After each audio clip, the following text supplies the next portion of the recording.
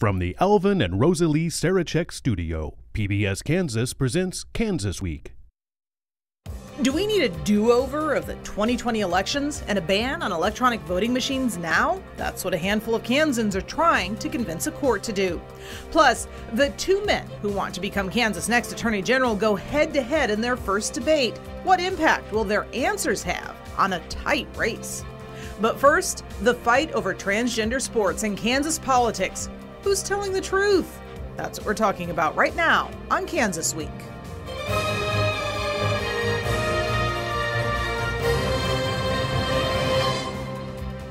And welcome to Kansas Week. I'm your host, Pilar Pedraza.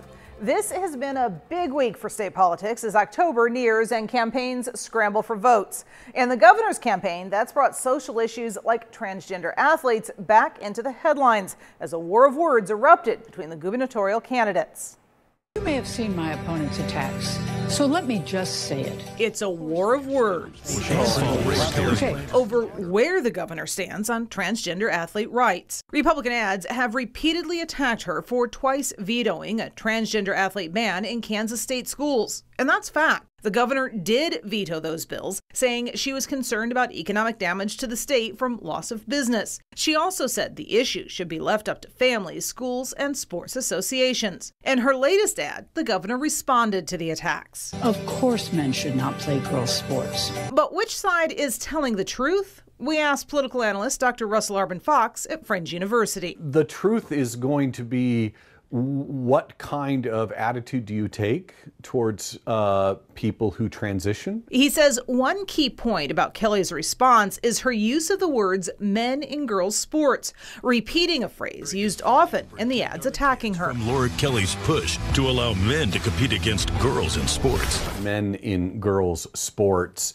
is language that is intended to connect with uh, you know a lot of fears of pedophilia. These ads are designed to tap into a lot of really primal fears. They're not accurate because, of course, we're not talking about grown men and small children. As for the fairness of transgender athletes competing with women and girls, attitudes toward the governor's vetoes will depend on your definition of what makes one male, female, or anything else. Are you going to insist that there is no such thing as a sexual and so therefore you're stuck with the gender that you were born with? For a lot of people, especially the people that these Republican ads are reaching out to, that's really straightforward. And she's going to be able to come back and say, well, but that legislation has to do with trans women who want to be able to compete And here to break this down, along with a number of other topics, we have Kansas Democratic State Representative Henry Helgerson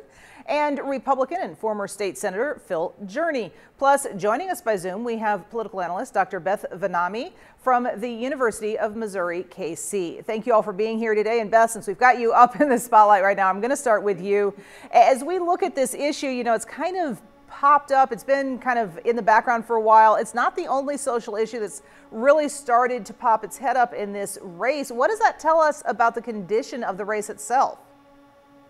Well, I think this issue's become a hot topic, not just in this race, but in uh, among Republicans across the country. And I think it's become a hot topic because the uh, Republicans are very much united on this issue, uh, with a vast majority opposed to the idea of transgender rights, particularly in the case of sports. And Democrats are quite divided themselves, and that offers Republican candidates an opportunity to use this as sort of a wedge issue for Democrats. So I think it's one of these cultural issues that has replaced gay marriage, gay rights, and abortion as sort of the hot topics for Republicans to be discussing. All right, so here on the desk, guys, you guys both watch this. You're active in politics. What are your thoughts as you're seeing this issue come up again and again? Phil, you know I'm going to start with you. Giving me that look. You know, okay, this issue is like many other election cycles, the issue that's intended to energize the base. Both sides are trying to use this issue in that way. And it really is not a normal issue for Kansas politics in statewide offices. Usually, governor's race, AG's race, it's about competency, it's about running the state. It's not about this one. I think Governor Kelly made a mistake In the way she responded, I think she should probably have come back with, you know, it's a local issue. Let's let local school boards decide. They know the kids better than the state legislators ever will, you know, and they could make those decisions. And you know, the school board could bind the Kansas Sports Authority, and and they could go forward with that. I, the articles I have read in the past say it's just a handful of individuals that this might be applicable to, and it seems like an old Shakespeare play, but you do about nothing. All right, Henry, what are your thoughts? I agree totally. I agree. Um, yeah, from all the information we had, it is much to do about nothing. Uh, there are some men or women that struggle through this process. And one thing that strikes me is there's little discussion or compassion about how, it, how they feel about this and how difficult it is for them to go through. I don't remember of hearing one instance in Kansas that it became a problem it, the, it, the, art, the commercial they were using was from out of state. But what really bothers me is these people need assistance and support. And maybe we don't have, or maybe the governor didn't make the perfect statement response. Uh, well, let's be frank, she didn't. She should have simply said, My veto stands for those reasons. But people understand that if you take a position and you believe in it and you stand by it, they'll accept that. It's waffling that always causes problems. So eh, we know that this race appears to be very tight.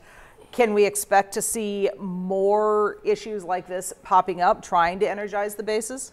Uh, we're in the, we're getting pretty close to goofy time. yeah, goofy time's usually about two weeks before voting starts, and we're right on the cusp of that.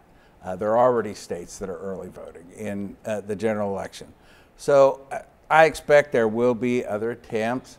Uh, we'll probably see another crazy text message from somebody like we saw in the primary that people trying to mislead others. It's unfortunate. And, uh, you know, I think if voters stay focused on what issues that matter to them, they'll probably make the best decision they can collectively. Beth, do you agree? Is this something you think that we're going to see more of as we get closer to Election Day, or are we kind of too close at this point? Yeah, I actually think this issue is going to continue to be an issue because I think the Kelly team thought they were putting the issue to rest with a sort of an ambiguous advertisement.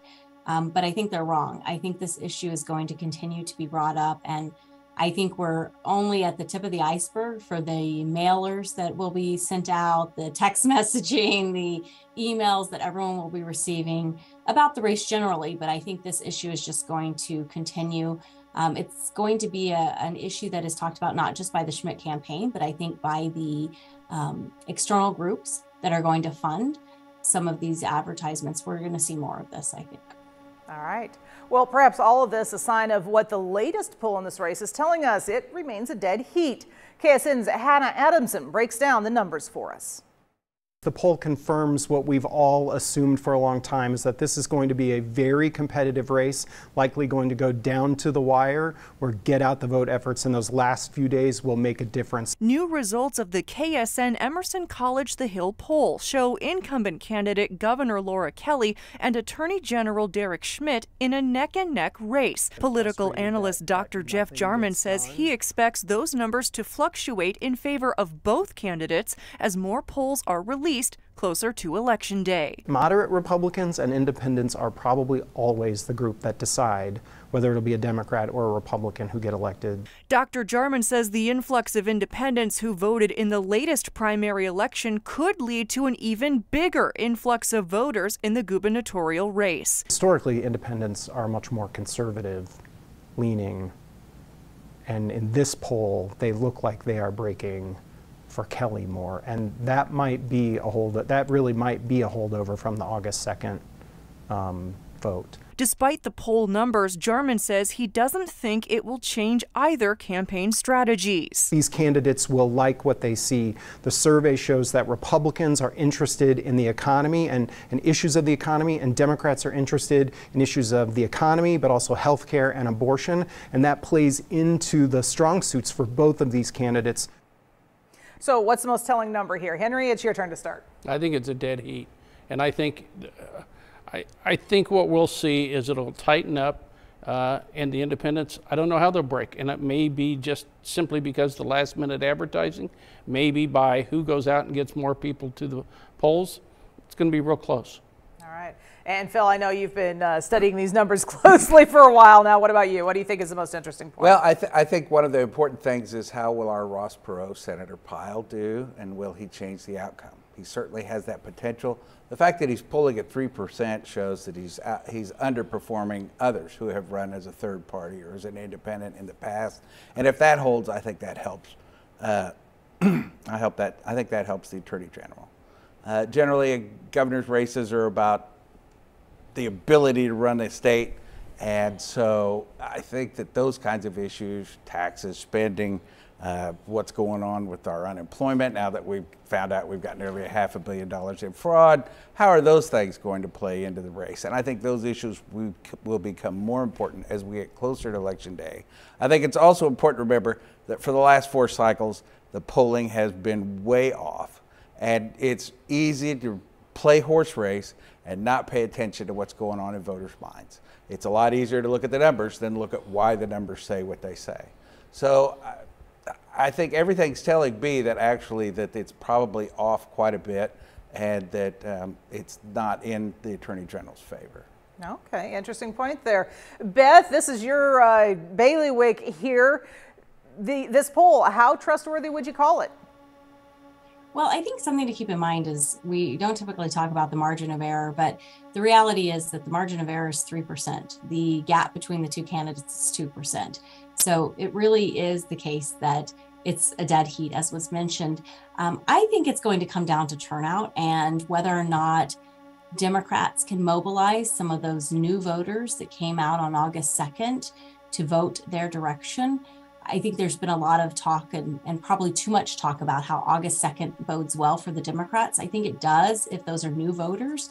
Um, but I suspect that a good portion of the voting no group was um, independents and Republicans, and those folks are not going to vote for Kelly in November. So I, I think it's it's cautious optimism for the Democrats, the August second votes, but I, I think the um, the race is going to be a toss up to the end and depend on who gets their voters out.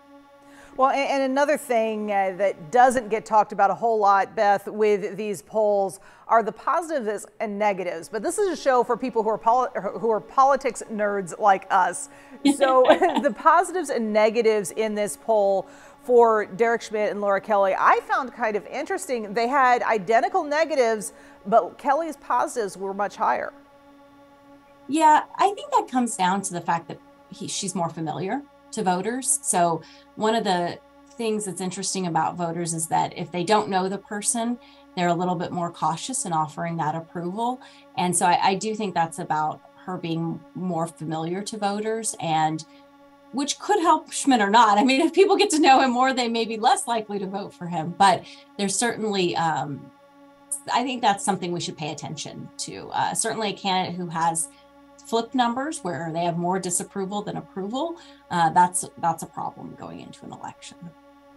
Okay, Philip, quickly. Okay, I think she hit the nail on the head. I think that uh, Derek Schmidt's lower numbers on his known and positives demonstrates that, in fact, he probably needs to work on Kansans getting to know him a little bit more to work on those. Uh, a campaign runs a real risk that if they don't build that trust first and then they go negative, that all of a sudden they will lose their positives if they go negative and people don't trust them, and it seems disingenuous. So, uh, you know, I think he needs to go back and kind of reintroduce himself to the voters and get that done the next 10 days or so, and then move over to what we all know the campaign's probably going to turn into for both sides. Okay. Yeah. Well, the same poll showed the race for Attorney General to also be running neck and neck right now, with Kobach holding on to just a two point lead, although there are 16% of voters who are undecided. The two candidates met head to head in Wichita for a debate at the Crime Commission this week. KAKE's Jackson Overstreet takes us there. In a side room at a local steakhouse in Wichita, two men make their case to be the next Attorney General of Kansas in front of the Wichita Metro Crime Commission. Public safety is my life's work. That's what my faith has told me I'm supposed to do. We need someone with experience, and I will step in for that role. On one side of the ballot is Democrat Chris Mann, a former police officer and prosecutor. Mann has three priorities if he were to be elected. One of the most important things we need to do is drive down the violent crime rate. And we need to uh, make sure that consumer fraud uh, victims are helped because it often um, uh, hurts our most vulnerable Kansans. And we need to make sure that we're uh, going after folks who are committing Medicaid fraud as well. His opponent, former Secretary of State, Republican Chris Kobach. Kobach has built his campaign for the office around plans to sue President Biden's administration over various policies and executive orders. When there is a threat from Washington to the constitutional rights of Kansas, there is only one official, only one person who can step in and stop them, and that's the Kansas Attorney General. Thursday's debate covered several issues, one of the most prominent being fentanyl. Mann says his office would support a bill that would legalize test strips.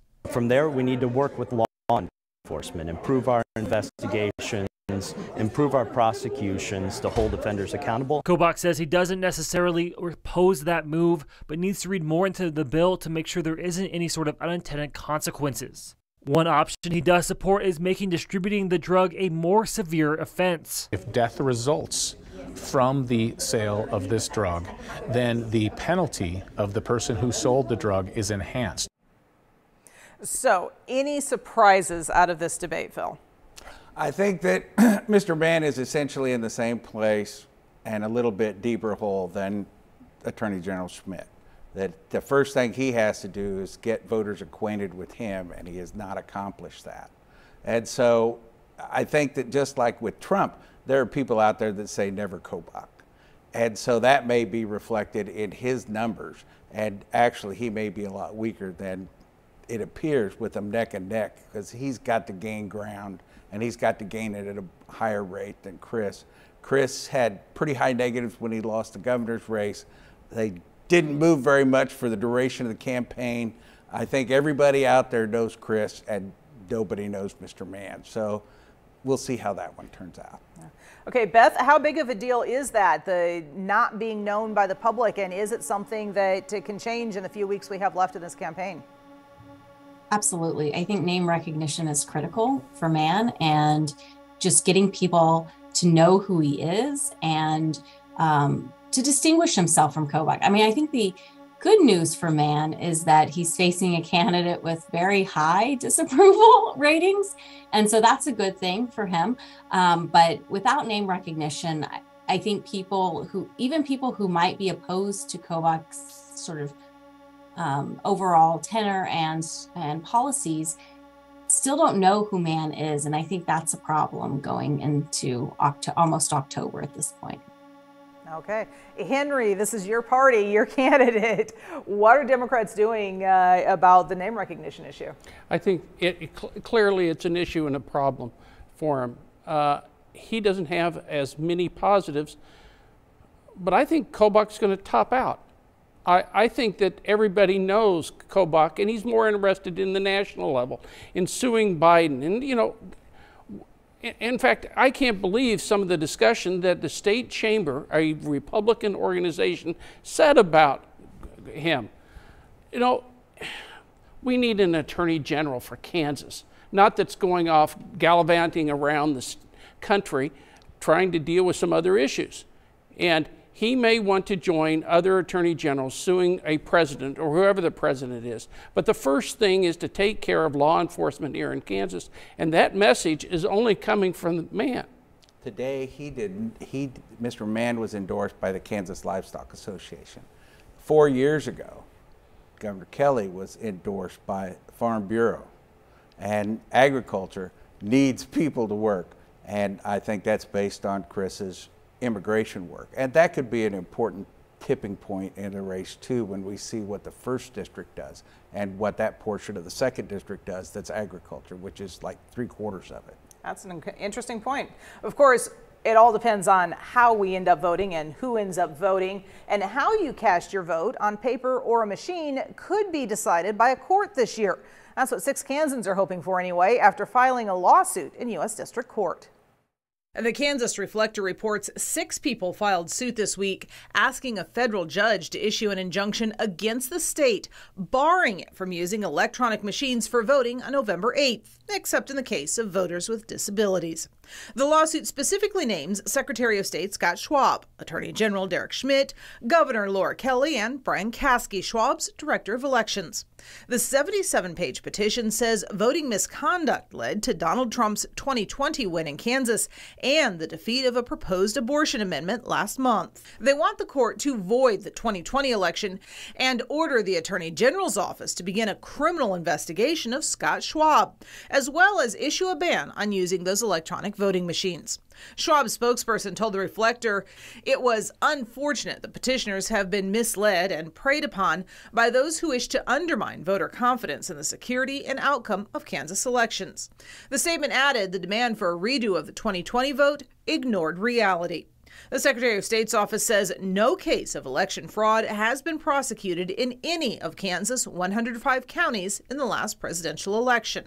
Meanwhile, the lawsuit filed earlier this month says the petitioners have researched or have firsthand knowledge of overwhelming evidence that electronic voting systems are not safe and secure, which undermines the voter's intent, therefore violating fundamental voting rights according to the 14th Amendment of the U.S. Constitution.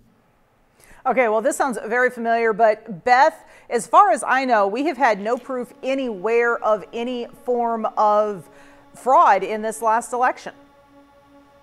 Yeah, I mean, this is a pattern we see nationwide. We're seeing, you know, not just these claims of voter fraud spreading on social media, but newer this, I think, post election cycle is the pursuit of lawsuits on um, the part of individual citizens against sort of the 2020 election or the 2022 August 2nd vote, um, which is which is somewhat unique. Uh, but the idea of you know people suing or pursuing action in the courts is not all that unusual when it comes to elections. It's just never received as much attention as it has well frankly since 2020 and um, trump's uh, claims of fraud and stolen election.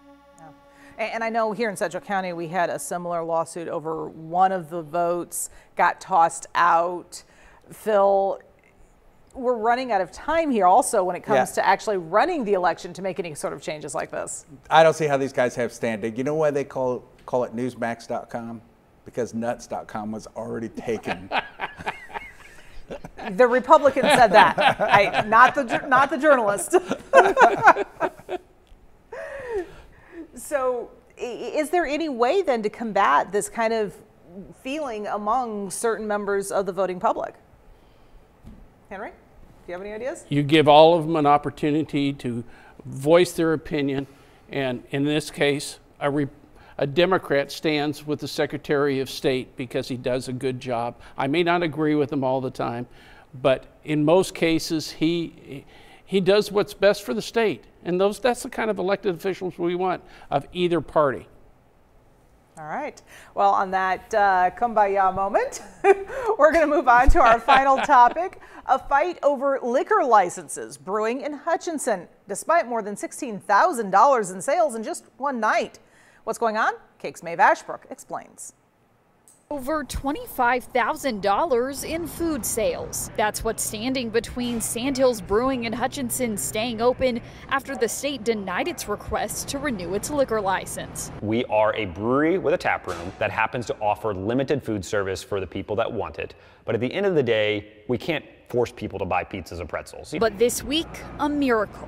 We thought there was a chance, and we thought that the community would back us and that they would come out and support us. Co founder Pippin Williamson says Tuesday night his brewery sold over $16,700 worth of food. A plan hatched and sent out to customers over social media just hours before. Our building was at full capacity, wall to wall, line out the door, and it stayed that way for five straight hours. It's because of a referendum Reno County added to a state statute decades ago, requiring drinking establishments to produce at least 30% of their total revenue in food sales. Everything I've heard thus far has been a surprise, uh, a lot of proponents to bringing it back to a vote. Reno County Commissioner Daniel Friesen says people would have to vote in an election to change that. We want to learn from Pippin's experience and, and don't want to um, have other small businesses uh, in the county be negatively affected by this. And Williamson says he's going to keep trying to change the rule despite this week's unexpected strides. That was a testament to uh, what we have, what we've been trying to build, and it was also a statement of, of belief. And Henry, you're still in the state legislature. Not unusual for laws to kind of lag a little bit behind daily life there. Yeah, that's true. But our liquor laws are just crazy in some respects. Let's let's be before COVID started, you couldn't go to a fast food place and get a mixed drink. Now you can drive through uh, some fast food restaurants and get a mixed drink as long as it's covered. Now, funny, this, I thought that was crazy. That is crazy, and it was done without a legislative vote. So, do I think that he has a legitimate problem? Yeah. And in fact, if, if he can't get anybody else to, I'll introduce the legislation to ch- try to change it.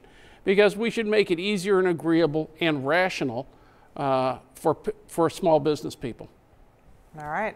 Well, and the other issue that really kind of stuck out with to me on this is the fact that in Reno County, if you have a petition with 15% of the voters signing it, you can force an issue onto the public agenda for a public vote. You don't have that at the option at yeah. the state level. Beth, what is up with that? Because Missouri has it. Yeah, well, the states vary dramatically in sort of the ability of regular citizens to introduce legislation and or um, form a sort of uh, have a vote on that legislation. But it is way more common at the local level than it is either statewide, and obviously it doesn't exist at the national level. Well, and that's certainly a topic that is going to keep a lot of people talking because folks like their local eateries. You know, I, what did I tell my kids in high school? I go, your failure to plan is not an emergency.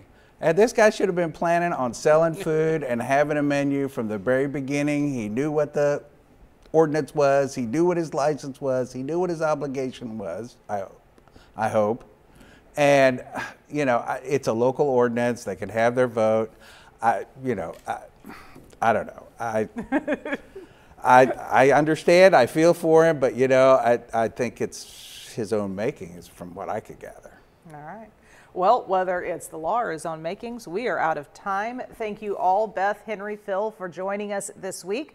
I hope you and our audience have enjoyed our discussion. We'd also like to thank our news partners at KAKE News, KSN News, and the Wichita Eagle for sharing their materials with us. We'd love to continue the conversation with with you at any time, just shoot us an email at kansasweek at kpts.org. For now, stay safe and have a great week.